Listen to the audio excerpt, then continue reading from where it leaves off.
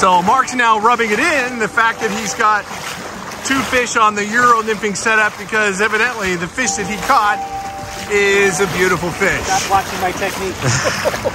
oh, wow, Mark. That is a beautiful fish. That's so... Oh my God, that is huge.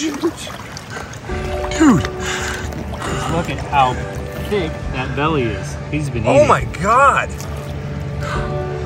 Can you lift that up? Yeah. Oh my God, Mark, that is a beautiful fish. wow, Euro nymphing or not, that's a nice fish. wow. Gorgeous. Very nice. Nice winter Yakima bow. Beautiful.